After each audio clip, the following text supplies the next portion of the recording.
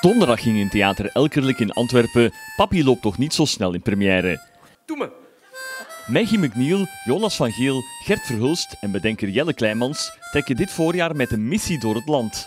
Het blazoen van het levenslied oppoetsen. Supergezellig. Elke smartlap is een levenslied, maar een levenslied is niet altijd een smartlap. In smartlap uh, loopt het altijd slecht af en uh, wordt heel het verhaal van in het begin verteld. Dat is een smartlap, theoretisch gezien.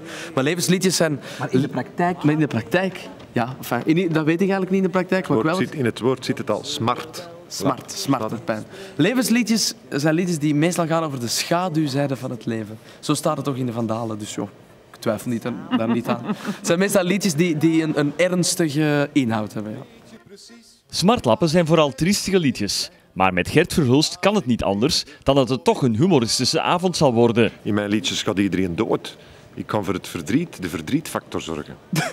Nee, echt waar. De tranen zullen vloeien in de zaal en het zal niet van het lachen zijn. Geloof mij.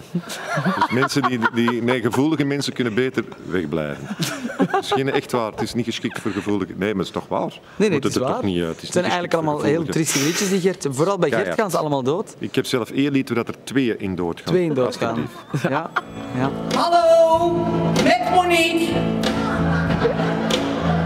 Hey Monique, mag ik mami even spreken? Nee, papi, dat gaat niet. Mami staat in de keuken en maakt eten klaar voor ons tweetjes. Je zou denken dat al die kommer en kwel in de liedjes zwaar gaat wegen op de gemoedstoestand van het publiek. Maar niets is minder waar.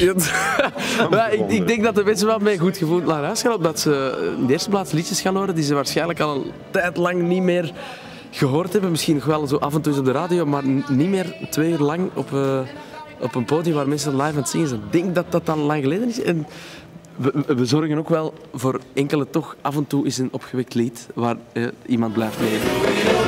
Zeg eens meisje, waar ga jij vanavond heen? Zeg eens meisje, ben je zo alleen? Zeg eens meisje, ik Maggie McNeil is niet alleen de enige niet-Belg op het podium, ze is ook de enige vrouw in deze nieuwe productie. Het zijn allemaal mannen. Volgens mij hebben we gisteren geteld dat, eh, dat er dat tussen 16 mannen zit met de hele crew mee. Maar goed, gelukkig heb ik mijn vriendin bij me, dus ben ik niet helemaal alleen. Nee hoor, het gaat heel goed. En we kunnen verschrikkelijk leuk met elkaar en lachen en doen en alles. Het, is, Ja. het komt helemaal goed met deze tour. Het programma van Papi loopt toch niet zo snel is bijzonder gevarieerd. Net zoals de lievelingsliedjes van de solisten zo blijkt. Zij gelooft in mij van André Hazes. Waarom? Omdat het gewoon een dijk van een nummer is en het ongelooflijk, ongelooflijk strafnummer is.